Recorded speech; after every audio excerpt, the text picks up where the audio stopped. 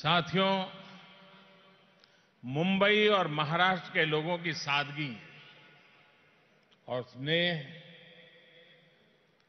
मुझे हमेशा अभिभूत कर देता है। चुनाव प्रचार के दौरान महाराष्ट्र में, यहाँ के अनेक शहरों में गया, आप लोगों से संवाद किया।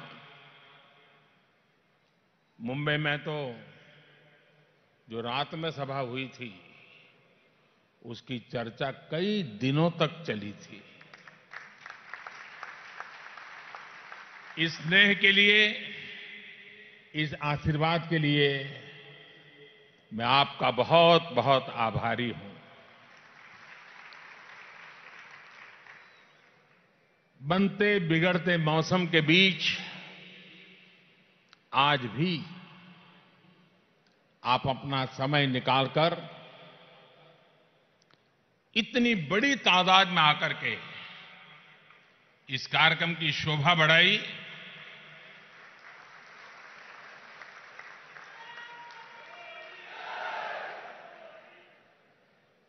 ये आपके मिजाज की पहचान है। और आपके सपनों का संकेत भी है। साथियों, मैं रशिया में था, तब भी मुझे मुंबई का हाल मिल रहा था। मैं कल सुबह ही वहाँ से लौटा और फिर शाम को बेंगलुरु चला गया। बेंगलुरु में रात भर इसरो के अपने वैज्ञानिक साथियों के साथ रहा। उन्होंने जो हौसला दिखाया है, उसे देख करके मैं बहुत प्रभावित हूँ।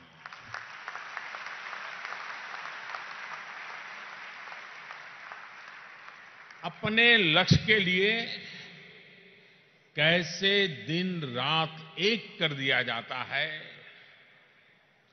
कैसे विपरीत से विपरीत परिस्थिति में भी, बड़ी से बड़ी चुनौती में भी पूरी तन्मयता के साथ कैसे अपने लक्ष्य को प्राप्त किया जाता है, ये इसरो के हमारे वैज्ञानिकों, हमारे इंजीनियरों से हम सब सीख सकते हैं।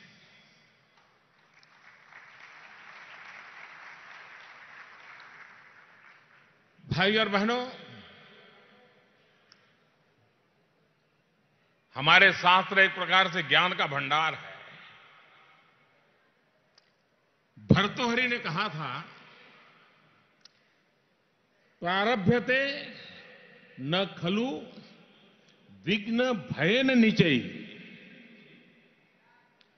प्रारभ्य विघ्न विहिता विरमंती मध्या विघ्न ही पुनः पुनरपि प्रतिहत्यमाना प्रारब्ध, मुक्त मुगुणा न परित्यजंती यानी किसी भी लक्ष्य को प्राप्त करने के लिए प्रयास करने वाले तीन तरह के लोग होते हैं। सबसे निचले पायदान पर वो लोग होते हैं जो रुकावटों के डर से कभी काम की शुरुआत ही नहीं करते इसके बाद मध्य स्तर के और मध्य स्तर पर कुछ लोग ऐसे होते हैं जो काम तो शुरू कर देते हैं, लेकिन पहली रुकावट आते ही नौ दो ग्यारह हो जाते हैं, भाग जाते हैं। इन दोनों तरह के लोगों से अलग। सबसे ऊँचे स्तर पर वो लोग पहुँचते हैं जो लगातार रुकावट के बावजूद, बड़ी से बड़ी चुनौतियों के बावजूद निरंतर प्रयास करते हैं और अपने लक्ष्य को प्राप्त करके ही दम लेते हैं।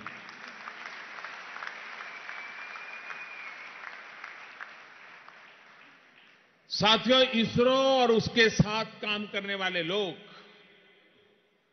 ये तीसरी प्रवृत्ति वाले लोग हैं। जब तक लक्ष्य प्राप्त नहीं हो जाता, वो न रुकते हैं, न थकते हैं न बैठते हैं। अब मिशन चंद्रयान में एक रुकावट आज हमने देखी है, लेकिन इसरो के वैज्ञानिक तब तक नहीं रुकेंगे जब तक मंजिल पर नहीं पहुँच जाते।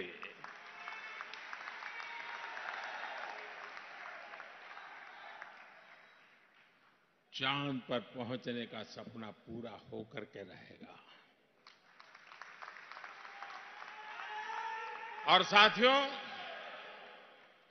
हमें ये भी याद रखना है कि चंद्रयान के साथ भेजा गया ऑर्बिटर अभी वही है, चंद्रमा की परिक्रमा कर रहा है। ये भी एक ऐतिहासिक उपलब्धि है।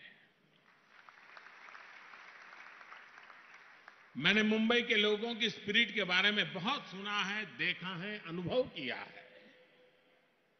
आज इसरो के लोगों की स्पिरिट देखी और समझी तो मुझे ज़रूरी लगा कि आपसे भी उन बातों को जरा शेयर करो।